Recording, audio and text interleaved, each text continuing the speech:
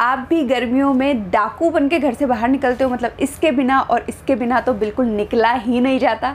एक टाइम ऐसा था जब मैं भी डाकू बनकर ही निकलती थी घर से बाहर। मतलब जब मैं गुड़गांव में रहती थी ना तो मैं गुड़गांव से दिल्ली जब भी भी आती थी बाइक पे हम लोग आते थे, मैं और मेरे हस्बैंड तो मैं फुल ऑन डाकू बन के आती थी। मतलब फेस को चुन्नी से कवर कर लेना, चश्मा लगा लेना फुल ग्लव्स पहनना सॉक्स पहनना, फिर अपने शूज़ पहनना, ताकि मुझे टैनिंग वगैरह की प्रॉब्लम ना हो।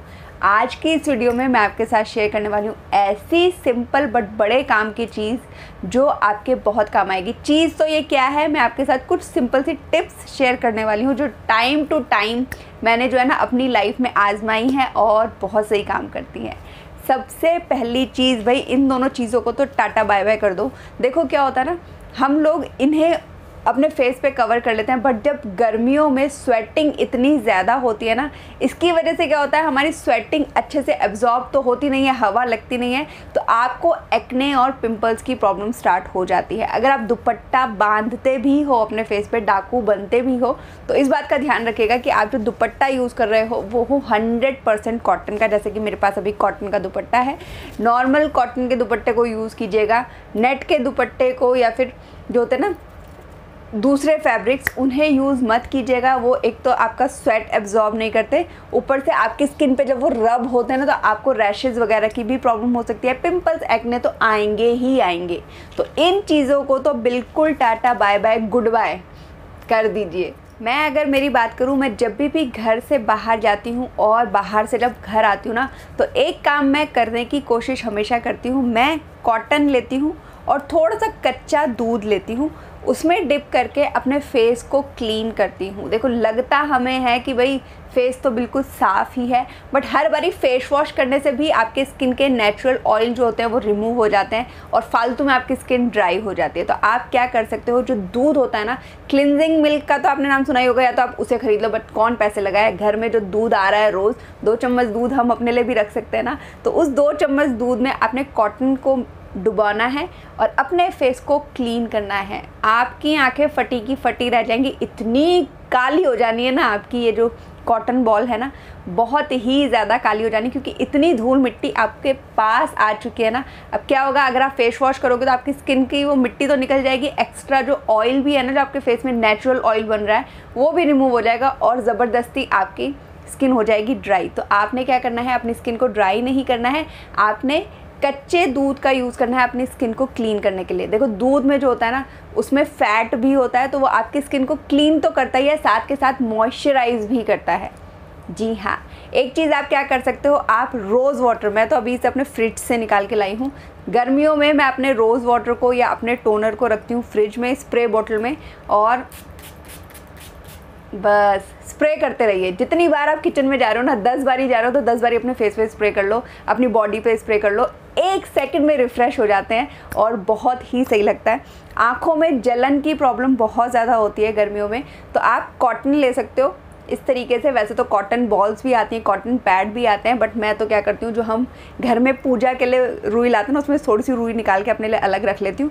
इसे इस तरीके से आप एक बना लीजिए, इसमें रोज़ वाटर लगाइए और अपनी आँखों के ऊपर रख लीजिए। दिन के पाँच मिनट भी अगर आपने अपनी आँखों के ऊपर उस रुई को रख लिया ना रोज़ वाटर वाली, आपकी आँखों में कभी भी जलन की प्रॉब्लम नहीं होगी क्योंकि धूप इतनी ज़्यादा है कि आँखों में मिट्टी भी घुसती है ना और गर्मी की वजह से भी। आपकी आँखें बहुत ज़्यादा रेड भी हो सकती हैं और आँखों में बहुत ज़्यादा जलन भी हो सकती है। तो रोज़ वाटर को यूज़ करना बिल्कुल भी मत भूलिए। आप इसे एज अ टोनर भी यूज़ कर सकते हो और अपनी आँखों को ठंडा ठंडा कूल कूल करने के लिए भी यूज़ कर सकते हो। मुझे ऐसा लगता है कि औरतें ना अपने बच्चों के लिए कुछ भी ले सकती हैं, अपने हस्बैंड के लिए कुछ भी ले सकती हैं बट अपने लिए एक सनस्क्रीन लेने के लिए इतना ज़्यादा सोचती हैं कि पूछो ही मत।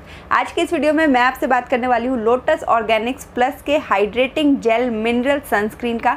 इसमें है एस पी और ये आपको बचाता है यू वी ए और यू रेस से। पता है आपको बहुत अच्छी बात क्या है? घर में चार लोग हैं, चारों के स्किन टाइप अलग अलग हैं। आप क्या करें? चार अलग अलग सनस्क्रीन लें। नहीं भाई, नहीं, कोई टेंशन वाली बात नहीं है। इसे आप ट्राई कर सकते हो क्योंकि ये है ऑल स्किन टाइप इसमें किसी भी तरीके की आर्टिफिशियल फ्रेग्रेंस नहीं है और प्रिजर्वेटिव भी नहीं है। 99 परसेंट नेचुरल इन्ग्रीडियंट से ये बना है। कई औरतों को लगता है कि भाई, हम तो घर पर ही हैं, हमें सनस्क्रीन लगाने की ज़रूरत क्या है? तो मैं आपको बता देना चाहती हूँ कि आप घर पर हो या घर से बाहर हो मिनिमम सनस्क्रीन आपको अप्लाई करना चाहिए, जिसमें हो एस पी एफ़ थर्टी की गुडनेस अगर मैं आपको इसका टेक्स्चर दिखाऊँ, इसका टेक्स्चर बहुत ही अच्छा है। बिल्कुल भी वाइट कास्ट ये नहीं छोड़ता जैसे कई सनस्क्रीन होता है ना, लगा लिया और पूरा मुँह ही सफ़ेद हो गया। इसके साथ ऐसा कुछ नहीं है। मैं आपको इसका टेक्स्चर दिखाती हूँ ज़रा सा। बहुत ही रनी टेक्स्चर है इसका तो ये ब्लेंड भी बहुत अच्छे से हो जाता है और स्किन पे एब्जॉर्ब भी बहुत अच्छे से हो जाता है। देख सकते हो आप, इसका बहुत ही लोशन जैसा है ये। बिल्कुल भी थिक आपको फील नहीं होता और आप देखोगे मेरी स्किन पे ये इंस्टेंटली एब्जॉर्ब हो चुका है। ये आप देखिए। और मेरी स्किन हो चुकी है बिल्कुल बाहर जाने के लिए रेडी लोटस ऑर्गेनिक्स है 25 साल पुराने ब्रांड लोटस हर्बल का एक सब ब्रांड आज मैं आपके साथ शेयर कर रही हूँ Lotus Organics hydrating gel mineral sunscreen S P F thirty जो कि आपकी स्किन को बचाता है यू वी ए और यू वी बी रेज से। इसमें किसी भी तरीके के प्रिजर्वेटिव्स और आर्टिफिशियल फ्रेगरेंस नहीं है और ऑल स्किन टाइप प्रोडक्ट है ये। ये सनस्क्रीन आपको देता है chemical free sun protection this product is 99 percent natural 100 gram की आपको इसकी क्वांटिटी मिलती है. तीन साल की आपको इसकी शेल्फ लाइफ मिलती है. 100 परसेंट वेजिटेरियन प्रोडक्ट है और क्रूअल्टी फ्री है. टेक्सचर की अगर मैं बात करूँ तो आप देख ही सकते हो इसका टेक्सचर बहुत रनी है. इस वजह से ये बहुत ही अच्छे से ना एब्जॉर्ब हो जाता है आपके स्किन में और बिल्कुल भी वाइट कास्ट ये नहीं देता है। Hundred percent certified organic extract से ये बना है। इसमें किसी भी तरीके के पैराबिन्स पेट्रोलियम सल्फेट नहीं है और ये है एक क्रुअल्टी फ्री प्रोडक्ट और आप देख सकते हो मेरी स्किन कितनी सॉफ्ट हो गई है इसे अप्लाई करके। लिंक है इसका डिस्क्रिप्शन बॉक्स में ट्राई ज़रूर कीजिए।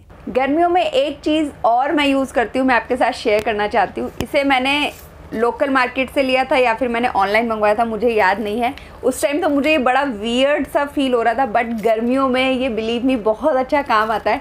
मैं इसे फ्रिज में रख देती हूँ, इसमें ये जेल है बेसिकली और ये एक फेस मास्क है। इसे मैं अपने फेस पे ना इस तरीके से लगा लेती हूँ, और बिलीव मी इतना मस्त ठंडा ठंडा कूल कूल एहसास होता है। इसे लगा लो और आँखों पे ना रुई लगा लो रोज़ वाटर वाली और फिर आपको क्या ज़बरदस्त वाली नींद आने वाली है। अगर आपको पफ़ी आइज़ की या फिर स्वेलिंग फील होती है जब आप सो के उठते हो तो आप एक मिनट के लिए या दो मिनट के लिए इसे अप्लाई ज़रूर कीजिए। ये बिल्कुल वैसा ही फील होता है जैसे हम अपने फेस पे बर्फ़ को रब करते हैं ना आइस रब करते हैं बट आइस को पकड़ना थोड़ा सा डिफ़िकल्ट हो जाता है। इसमें ये बात बहुत अच्छी है कि इसमें आपको इस तरीके से हेल्प वो ये लगे हुए मिलते हैं वेलक्रो तो लगा के आपने सीधे इसे पीछे बाँध लेना है और बस। आपका काम हो गया, आपको ना हाथों पे ठंडा लगेगा, ना कुछ। फेस बड़ा ठंडा ठंडा होने वाला है। मेकअप करने से पहले भी मैं गर्मियों में इसे यूज़ करती हूँ। इससे फ़ायदा क्या होता है? इससे जो स्वेटिंग होती है ना मेकअप करने के बाद वो नहीं होती है। पोर्स जो है वो थोड़े से शांत हो जाते हैं थोड़े से बंद हो जाते हैं जिसकी वजह से स्वेटिंग वगैरह की प्रॉब्लम नहीं होती। तो इस तरीके की चीज़ें आपके पास गर्मियों में ज़रूर होनी चाहिए। कई लड़कियों को बड़ा शौक होता है भाई हर टाइम बाल खोल के रखने का। सर्दियों के लिए तो वो तब भी, ठीक है बट गर्मियों में मैं अगर आपको पूछूँ आप अपनी स्किन पर तो सनस्क्रीन लगाते ही हो बट क्या बालों पर भी सनस्क्रीन लगाते हो जो उसको जलने के लिए छोड़ दिया? नहीं ना, हम अपने बालों पे किसी भी तरीके का सनस्क्रीन वगैरह तो अप्लाई नहीं करते तो अगर हम अपने बालों को हमेशा खोल के रखते हैं ना तो वो बहुत जल्दी डैमेज हो जाते हैं। जैसे स्किन डैमेज होती है ना यूवीए और यू वी रेस से, वैसे ही आपके बाल भी ख़राब हो सकते हैं। तो गर्मियों में कोशिश कीजिए कि भाई बालों को अच्छे से बाँध के रखिए। या फिर आप क्या कर सकते हो, चोटी बना के रख सकते हो। खोल के अगर आप रेगुलर रखोगे तो गर्मियों में जल्दी आपके बाल खराब होते हैं। सिंपल टिप मैं आपके साथ और शेयर करना चाहती हूँ। गर्मियों में जब आप अपने लिए कपड़े खरीदते हो ना तो एक बात का आप ध्यान रख सकते हो। मैं थोड़ा सा ध्यान रखती हूँ इस चीज़ का कि मैं ना इस तरीके के पूरे ऊपर तक गले बंद वाले कपड़े लेती हूँ। क्योंकि क्या होता है ना, देखो, हम अपने फेस पे भी सनस्क्रीन लगा लेंगे, गर्दन पे भी लगा लेंगे, हाथ पे भी लगा लेंगे, पैर पे भी लगा लेंगे बट क्या नेक पे और पीठ पे लगा पाते हैं? बिल्कुल नहीं लगा पाते हैं। इसकी वजह से क्या होता है, वहाँ पर टैनिंग बहुत ज़्यादा होती है और क्योंकि हमें दिख नहीं रही है तो जब हम अगली बारी कोई डीप नेक वाली ड्रेस पहनते हैं ना तो वो सारी टैनिंग अलग से ही चमकती है। तो मैं क्या करती हूँ, गर्मियों में इस तरीके के कॉलर वाले या फिर गला बंद वाले कपड़े पहनने की प्रिफर करती हूँ, ताकि क्या होगा, मैं यहाँ तक तो मैं सनस्क्रीन लगा लूँगी ना तो मेरी वो नेक पे टैनिंग वाली प्रॉब्लम नहीं होगी। स्मार्ट हूँ ना मैं, मुझे लगता है मैं स्मार्ट हूँ। तो आप भी इन सभी टिप्स को ट्राई कर सकते हो। इसका लिंक मैंने आपको दे दिया डिस्क्रिप्शन बॉक्स में, बहुत ही सही मुझे लगता है ये, क्योंकि इसका टेक्सचर ना बिल्कुल भी हैवी फील नहीं होता है लाइट वेट टेक्सचर है इंस्टेंटली एब्जॉर्ब हो जाता है आपकी बॉडी में। अभी भी मैंने लगा रखा है, कहीं से भी वाइट कास्ट आपको फील नहीं हो रहा होगा। कई सनस्क्रीन ऐसे होते हैं जो लगाने के बाद या तो स्वेटिंग बहुत ज़्यादा होने लग जाती है, या फिर आपको वाइट लगने लग जाता है आपका फेस बट इसके साथ ऐसी कोई प्रॉब्लम आपको नहीं होगी।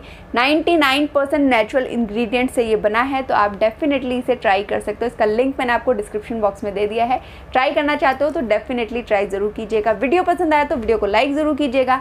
अगर अभी तक आपने मुझे इंस्टाग्राम पर फॉलो नहीं किया है तो फॉलो ज़रूर कीजिएगा। देखो, मैं अपनी वीडियो के स्टार्टिंग में नहीं बोलती हूँ कि मुझे इंस्टाग्राम पे जाके फॉलो कर लो बट किंतु, परंतु, लेकिन, अगर अभी तक आपने मुझे इंस्टाग्राम पे फॉलो नहीं किया ना तो आप मुझे ढूंढ सकते हो नीमा शर्मा 15 के नाम से। वहाँ पे जाके मुझे फॉलो ज़रूर कीजिएगा। बहुत कम फॉलोअर्स हैं मेरे और मतलब बड़ा दिल दुखता है मेरा जब मैं अपने इंस्टाग्राम को ओपन करके देखती हूँ और एक भी नया फॉलोअर्स नहीं आए होते। तो प्लीज़ मुझे फॉलो ज़रूर कीजिएगा। वीडियो पसंद आया तो वीडियो को लाइक ज़रूर कीजिएगा। Thank you thanks for watching bye